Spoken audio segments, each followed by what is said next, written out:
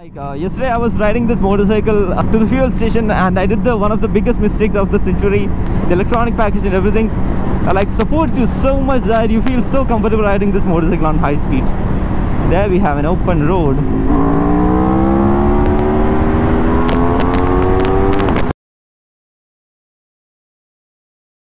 What's up YouTube? Today we have the Aprilia RS V4 RR. One of the most ferocious bike I've ever ridden in my life. I picked it up day before yesterday and I was riding it uh, on highways, on cities and today I thought that I'll just come out and make a video on this. So first of all this is not a ride review or anything this is just a first ride to talk about how I feel about this motorcycle and I've seen very less videos in YouTube about this motorcycle.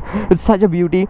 This is the 2019 version of Aprilia RS V4 RR basically it's a liter class that needs 999cc just an ultra beast. So much happy to ride this motorcycle. The one another V4 experience which I had is the Panigale V4 yes of course we have only two V4s now. The Panigale V4 and the RS V4 this one just made me to fall in love with the V4 configuration.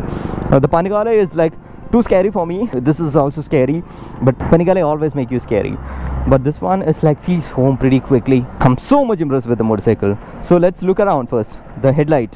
What a beautiful motorcycle. I would say that this headlight is so much powerful as well. Being a race motorcycle this headlight is so powerful as well. But i was riding it almost pitch dark some time ago. By the way it's a cold morning. It's all foggy. Very nice to see this kind of a morning. So yes it was pitch dark and the illumination was really really good.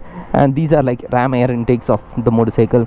There you'll see a little bit of carbon fiber. Basically the front mudguard is made of carbon fiber. And coming on to this section you see that just a beautiful looking RSV4 there you'll see the 999cc engine which is in a very mad configuration the V4 yes I've ridden the cross planes the flat planes but this one is just wow. And here we'll see an integrated indicator over the mirrors which also looks nice. Yeah coming onto the side the chassis is actually pretty much exposed. You see that? Actually this is my friend's bike so he has put his instagram handle over there. So let's looking around see the seat. The seat is actually much comfortable than i thought because it's a race motorcycle. Uh, comfortable in the sense it's not so cushioned and all but still it's roomy and designed in a way that some butt has to go in there. And yeah of course how can I avoid the Arrow exhaust on this motorcycle? Basically this one is not a full system exhaust but you can even call it as a full system exhaust. This one has a connected end can and the catalytic converter. So when you connect the exhaust even if you want to connect a slip on you have the headers over there and the direct pipe to the exhaust. So that means it's kind of a full system now. And the tail section oh man Italians are too good in making the back so good. Look at that motorcycle.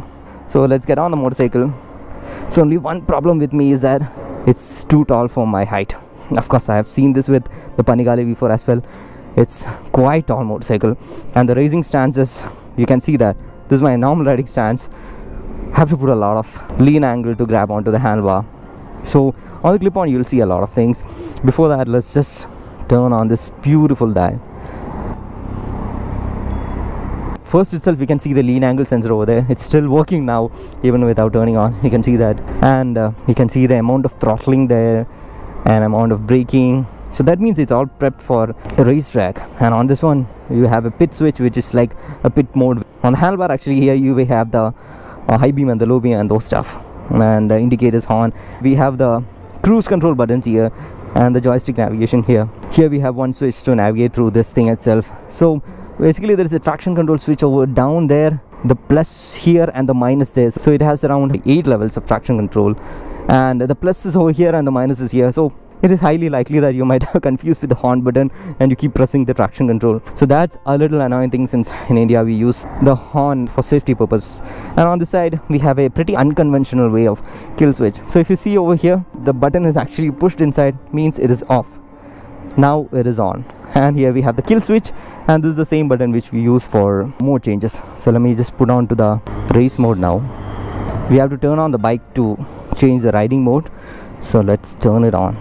By the way this motorcycle has only three riding modes sport race and track. There is no rain such thing for aprilia. I think in italy it doesn't rain.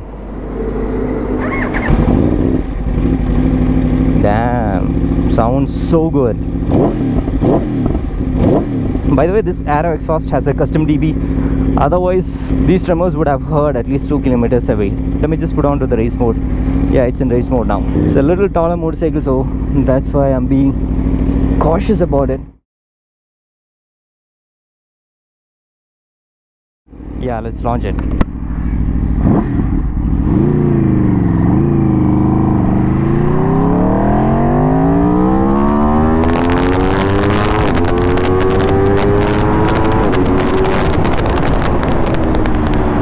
Damn, freaking fast.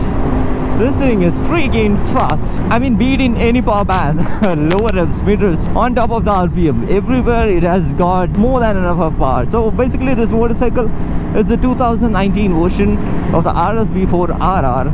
The motorcycle gives you a lot of adrenaline. So this one has around 202 bhp and around 150 newton meters of torque. That means this will definitely give you adrenaline rush. And as i mentioned this motorcycle comes with three riding modes sport race and track which has uh, the full power in all riding mode. On the sport mode you have a little more mellow throttle control but you have the full power and uh, the wheelie control the traction control uh, the cornering abs everything actually is onto a softer side. That means uh, the intervention is more. It will help you to ride inside the city. Towards the race mode actually this motorcycle has a little more sharper throttle again with the same power.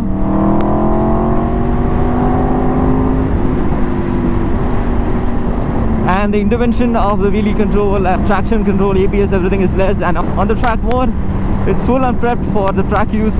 So yeah this is a proper race bike. You can feel that. So if i had to talk about the riding ergonomics the lean angle is too much. I can feel that. But if you ask me to rate in between all the other motorcycles which I've ridden in terms of riding ergonomics and comfort I'll say that I, will keep this motorcycle between the S1000RR and the R1 so this is not as committed and as aggressive in the riding posture as like the R1 neither too comfortable like the S1000RR the S1000RR even though it's a super sport motorcycle that one sometimes feels like a touring motorcycle like a super sport touring motorcycle and also this motorcycle comes with up and down quick shift and auto blipper that makes things much easy you can concentrate on the road. Never have to mind about using the clutch and all. Oh that growling. That's addictive. And you know one thing? This is my second experience with the V4 engine. Uh, previously I've ridden the Panigale V4 where I feel that I was more scared to ride the motorcycle even when I was riding for the second time or the third time but on this one, I was feeling much comfortable, feeling much home as soon as I get on the motorcycle. The height is the only thing on the motorcycle. So if you get to buy this motorcycle, be it in the fresh market or in the used market, only one thing is you might be a little scared about the height. But you know, this will make you comfortable so easily. The electronic package and everything like supports you so much that you feel so comfortable riding this motorcycle on high speeds. There we have an open road.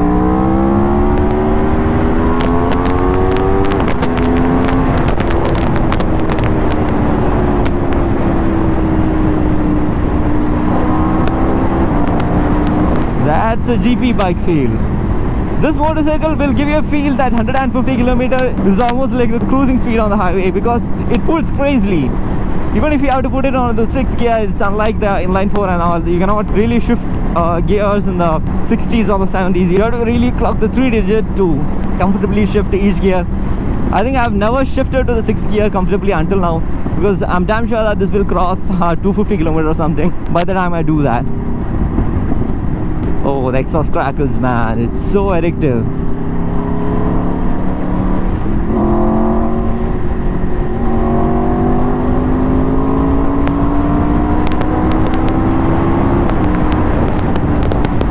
Now I totally understand that why these V4 guys don't like inline 4s. Because inline 4, you get the power and everything on the top of band. It's over there. You have to ring it loud. But on this one, you get it instantly.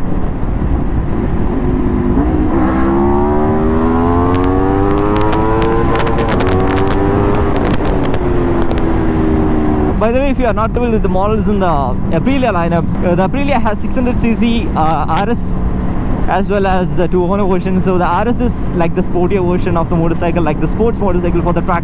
And Tuono you wanna call it as a street naked motorcycle or a touring motorcycle whatever you want but still that also makes to be a very good track motorcycle if you wish to take it over there. I don't want to start a debate over there but still I'm saying that and uh, leaving the 660s over there comes to the liter class like this. We have the 999cc RSV4 and the factory which is 1100cc on this one we get a Sachs suspension in the front and the rear. But on the factory you'll get an uh, Öhlins suspension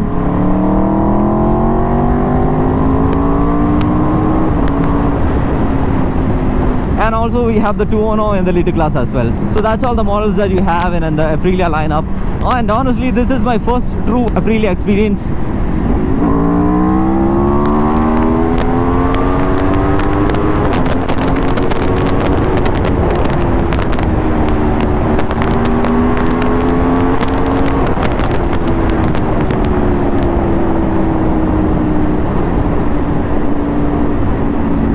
and yeah when this motorcycle was on sale in 2019 it was around 26 lakhs uh, out of the bank.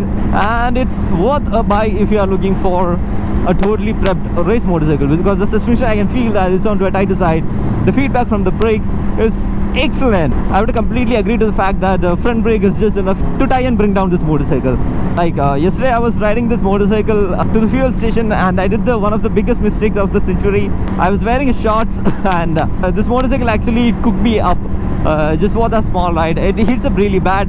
And what you see in the dial is now something like 82 degree which is much much much cooler uh, for this motorcycle. So you'll start facing the heat once it crosses the 95 degree mark and it can go up to 115 or 120 but until 95 you won't face anything. But if you are wearing shorts like me to the fuel station get prepared to get baked. Especially your right thigh will get baked faster than the left thigh.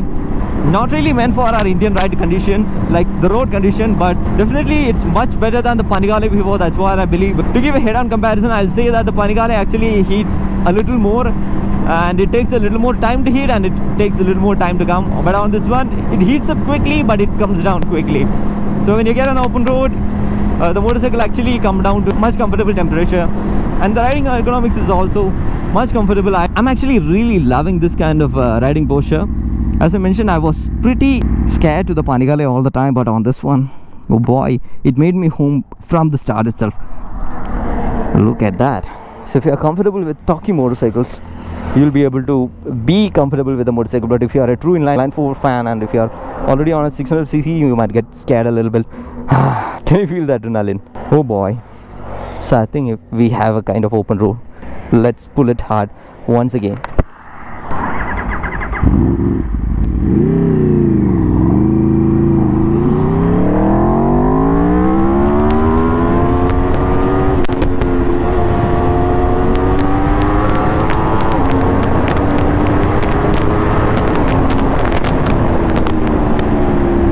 that's all with the small first ride impression of the Aprilia RSV4. I hope you like this video. As always, show some love in the form of likes and comments. See you in the next video. Until then, bye-bye.